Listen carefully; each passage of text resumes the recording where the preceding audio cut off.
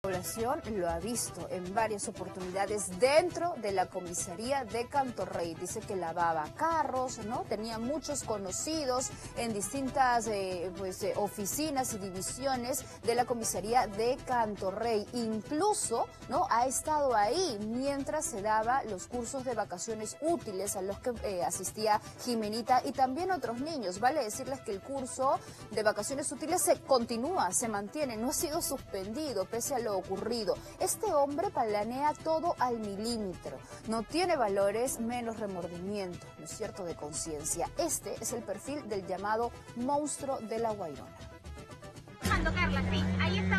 Sin sentimientos, valores ni remordimientos. Es el monstruo que se escondía detrás de un rostro aparentemente inofensivo, pero que en realidad era abominablemente cruel. Lamentablemente se cruzó en el camino de la pequeña María Jimena, pero la víctima pudo ser cualquier otra niña o niño.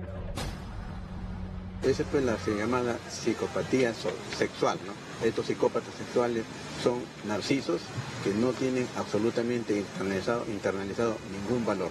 Una persona sin una ética y sin control racional lo que ah, hace es arrogarse su, su estadio primitivo llamado estado reptil. estado bestia, ¿no? y ante sus deseos sexuales o sus deseos de, impulsivos, lo que hace es comportarse como si fuera un, un monstruo. Un ser que calculó cada paso que dio para acercarse a su víctima y desatar todo su salvajismo. Este, planifican con ventaja, alevosía, ¿no? Este, y premeditación. Lo que pasa es que ellos utilizan la racionalidad, pero ya sujeta a los impulsos. Para el psiquiatra Martín Nizama del Instituto de Salud Mental Honorio Delgado y de Yonoguchi, se trata de seres que no son rehabilitables y que representan un peligro para las personas más vulnerables. Estas personas deben tener la pena de muerte, pero el Estado no da pena de muerte, ¿no? Solamente la cadena perpetua. El monstruo de San Juan de Virgancho es un reflejo de lo que está ocurriendo en la sociedad, una sociedad carente de valores y afecto. Este ser humano ya no tiene internalizado la escala axiológica, la escala de valores, como es el respeto, la dignidad, el honor. Ahora no hay familia, no hay paradigma, no hay amor, no hay educación y por lo tanto ya no hay valores.